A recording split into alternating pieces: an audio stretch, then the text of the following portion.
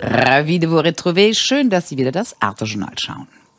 Russland und die Ukraine greifen gegenseitig ihre Energieinfrastruktur an. Auf ukrainischer Seite sollen Heizkraftwerke stark beschädigt worden sein und in Südrussland gab es Explosionen und Brände in Ölraffinerien. EU-Wahlkampf ohne Spitzenkandidat. Die AfD verzichtet bei ihrer Auftaktveranstaltung in Donau-Eschingen auf Maximilian Krah. Er hatte wegen möglicher Verbindung zu Russland und China seine Teilnahme abgesagt. Und die Pariser Philharmonie lädt zu extremer Musik ein. Nicht der Klassik, sondern dem Genre Metal ist ihre jüngste Ausstellung gewidmet. Immer wieder greift Russland Energie- oder Transportinfrastruktur in der Ukraine an. In der letzten Nacht besonders intensiv. Kiew meldet zwei Tote, elf Verletzte und vier beschädigte Heizkraftwerke.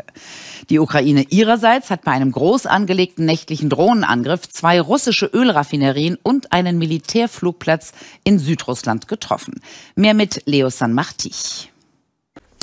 Nur wenige Monate vor dem russischen Angriff auf die Ukraine im Februar 22 hatte der oberste Gerichtshof in Moskau die weltweit renommierte NGO Memorial aufgelöst.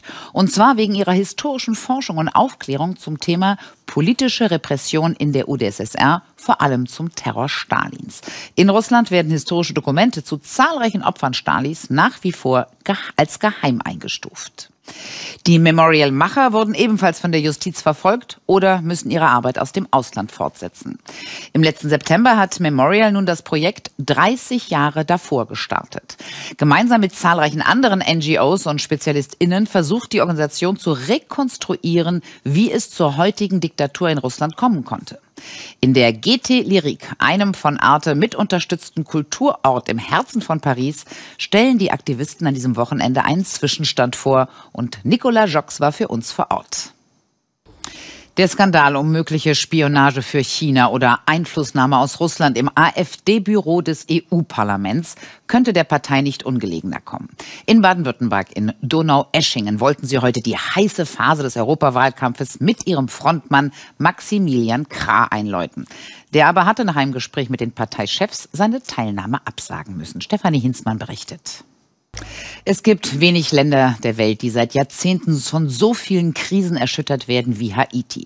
Schon immer sind die Menschen in dem Karibikstaat von Tropenstürmen und Erdbeben bedroht. Dazu kommt die akute Sicherheits- und Ernährungskrise, von der politischen ganz zu schweigen.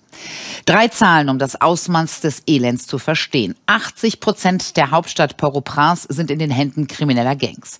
Circa 2500 Morde gab es allein seit Jahresbeginn und knapp die Hälfte der Bevölkerung ist mangelernährt.